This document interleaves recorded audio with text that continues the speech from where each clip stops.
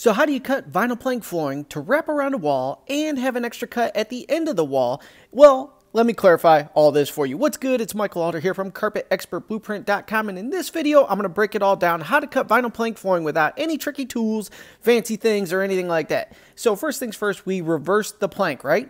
And we lined it up with the existing plank. Now I'm going to snap that end off so when I spin it around, the cut end goes right up against the wall. Boom! There we go. So it's lined up in that aspect. But now we have to notch things out. So I'm going to show you a little trick you can use to notch things out without any fancy tools, just using your knife and maybe a template for a straight edge. So we have it lined up. Now we're going to mark what we need to cut out. So I'm just going to score it a couple times with my knife right here. Get a nice line made in it. Next, we're going to get that out of the way. And we're going to go ahead and bring in what I like to call a dummy plank or a template plank that we're going to trace off of for the next one. So we're going to interlock this into the following row. See how we lock that in? We still got the gap there, and that's the piece we're going to cut to fill into there. Watch how we do this now to make life really simple. We're going to take the piece that we're going to cut, we're going to set it right on top of the plank we just interlocked there, right?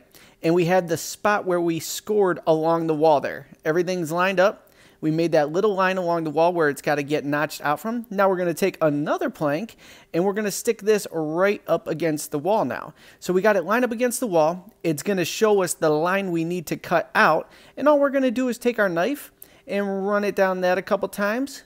Just a simple score here, so no measuring, no uh, super fast squares, speed squares or whatever. Just basic templates using vinyl plank flooring that you already have, and you're going to use that to get the installation done. So we're going to go ahead and trace this a couple times right now. Run your blade down, and you want to score it at least twice in most cases so you can snap it out without actually breaking the plank. And this will only work on vinyl plank flooring. Laminate floor would be a hot mess, so you definitely want to break out a saw for that. So now that we have everything scored, we're going to wiggle it back and forth to go ahead and start to break the plank without actually snapping any extra parts.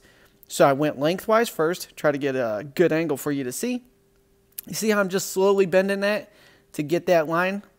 Work your way all the way down to the cross seam there. That's going to be the notched out area. Then we're going to bend that. Let's go ahead and help it out a little bit here. Finish out that line so they're connecting. And all you got to do is score that a couple times. Good to go. Go ahead and finish that piece out. Boom, boom. Remove that existing part. Toss it to the side because you don't need it. Now we're going to go ahead and take the template piece out. Get that out of your way just for a second. Now we're going to go ahead and put in the fill piece that we had cut out. So as you can see, no tape measures, no saws, no speed squares, nothing. Just a knife and your existing planks to get things done.